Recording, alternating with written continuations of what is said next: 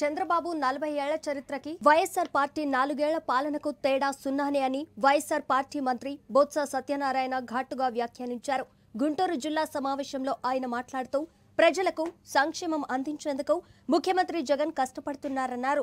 చంద్రబాబు అధికారంలో ఉన్నప్పుడు ప్రజలకు మంచి చేసింది ఏమన్నా ఉందా అని ప్రశ్నించారు. సెల్ ఫోన్ నేనే కనిపెట్టాను అని చెప్పుకోవడానికి కనీసం సిగ్గుండాలని వ్యాఖ్యానించారు. సీఎం జగన్ చేస్తున్న సంక్షేమం చంద్రబాబు ఎందుకు చేయలేదన్నారు? చంద్రబాబు పాలనలో అన్ని ఆత్మహత్యలు చేసుకున్న వైనాలే అని ధ్వజమెత్తారు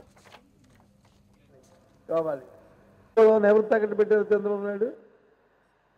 చెప్పండి. ప్రత్యేక హోదాను తాకట్టు పెట్టి ప్రత్యేక ప్యాకేజీని వచ్చి ఆ రోజు ఫైనాన్స్ మినిస్టర్ గారితో వచ్చి అనౌన్స్ చేస్తే చక్కెర గుద్దుకొని స్వీట్లు పంచుకొని సాల్వాలు కప్పుకున్నావు కప్పుకుని మాట మర్చిపోయా? ఈ రాష్ట్ర ప్రజలు చూడలేదా?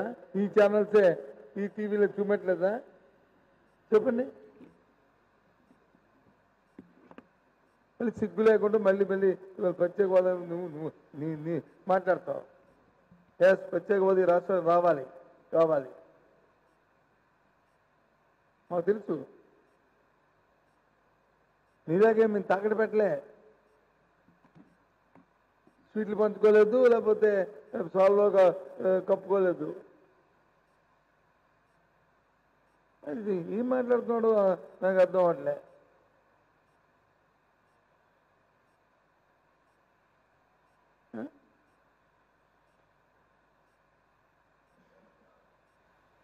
పేదోడు తాగంటే గోచుని పేదోడు గోచుని తిప్పింది ఎవరు?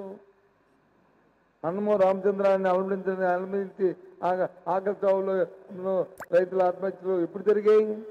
న్యాయంలో కాదా? చంద్రబాబు నాయుడు గారు? చెప్పు నిజం చెప్పు. కొత్త చరిత్రకి వెళ్ళు.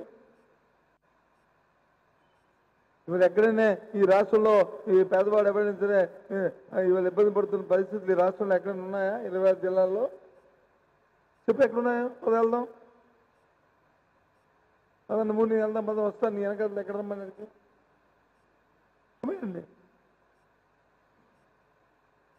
ఒకటో తారీఖున టెన్షన్గా తలుపు కట్టి వాళ్ళ పెన్షన్కి వచ్చి వృద్ధాప్య పెన్షన్ మన సెక్యూరిటీ పెన్షన్ ఇస్తుంది. ఇవాళ ఈ ప్రభుత్వం కాదు వైసీపీ ప్రభుత్వం కాదు జగన్మోహన్ రెడ్డి గారి ప్రభుత్వం కాదా? ఎవరు తాకట్టు పెట్టారు చంద్రబాబు నాయుడు. చెప్పండి.